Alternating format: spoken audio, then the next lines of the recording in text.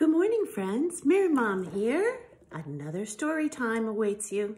Good morning, Alden. Good morning, Wyatt. I hope you're having a good day. It's a beautiful sunshiny day today. I was feeling a little magical, so I decided to wear a crown today. Our book today is Tractor Mac, one of my favorite stories. Alden and I have enjoyed Tractor Mac a lot. We even have tractors, Tractor Mac and Tractor Lucy. Let's get on with our story. Tractor Mac builds a barn. Around and around turned Mac, Tractor Mac's big tires. Rolling through the fields was what Tractor Mac liked best. He loved to chat with his friends as he moved around the farm, carrying out his chores. Through the farmyard, down the dirt lanes, across the fields. There were always new things to see and do. Here's our friend Tractor Mac.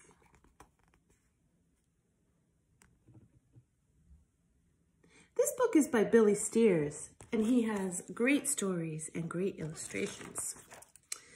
You don't ever stop moving, do you, Tractor Mac? clucked Carla the chicken. I would never get any work done if I weren't moving, laughed Tractor Mac. I have wheels. I've got to use them. A rolling tractor gathers no rest, said Goat Walter. There's Carla and Goat Walter and Tractor Mac. Mew. See that, kitty? Chugga chugga papa, you could hear Mac rumble across the fields and the woodlots from dawn till dusk. You never still still long enough for us to chat, said Lucy, his tractor friend from next door. Mac blushed a deeper shade of red. Sorry, Lucy, he said with a smile. I have wheels and I have to use them. See, there's Lucy.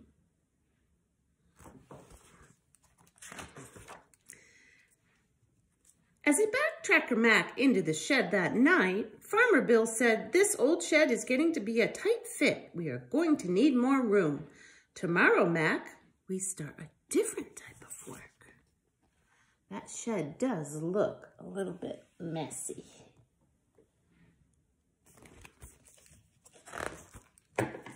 Early the next morning, Farmer Bill parked Mac next to the old shed. With a leather belt, he connected Mac to a big machine. Mac hoped he would not be sitting still for too long. He wanted to work in the fields.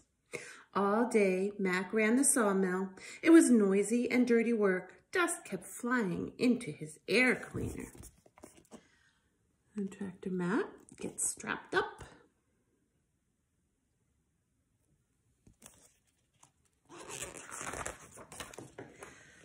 The leather belt spun, flip, flap, whoop.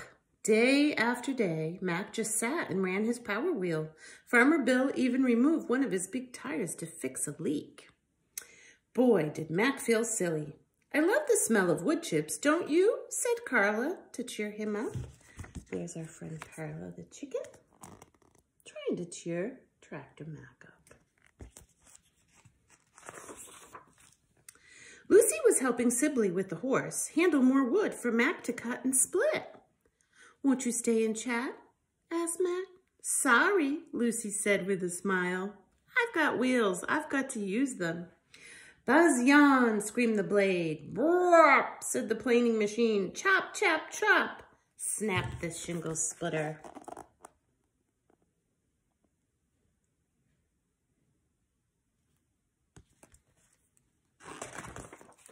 Mac felt so out of place. Everybody on the farm was moving around except for him. How was he supposed to get any work done just sitting there covered in dust? Still, Mac did his best to keep his belt running steady and smooth. Farmer Bill's wife could plant flowers around you, laughed Pete and Paul, the pigs. See Pete and Paul?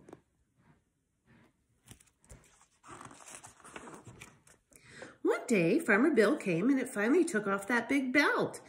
Mac's tire had been fixed and was put on the axle. It's time to see what you've been doing all these weeks, said Sibley, his friend. Mac turned the corner and saw all the neighbors gathered. It seemed as half the town was there, and Lucy was there too. It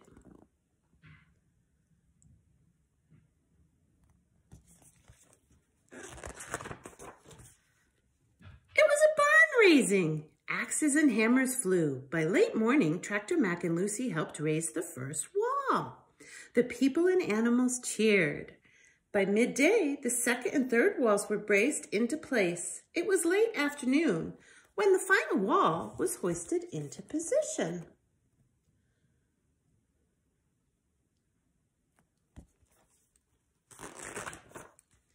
The rafters were pegged into place and a small evergreen was pasted on top for good luck.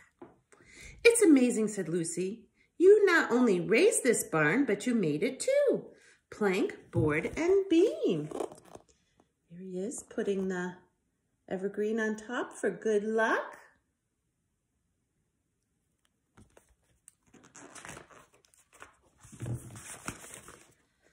Stupendous, squealed Pig. Pete the pig, I thought tractors were only good for field work. I didn't know they could build barns too. Neither did I, left Tractor Mac. Neither did I. And there's our friend, Tractor Mac. Well, Tractor Mac had to sit still for quite a while, and we are all having to do the same thing.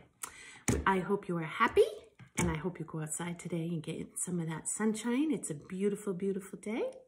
In the meantime, Merry Mom loves you. And Merry Mom signing out from the land of Whitingham. Bye.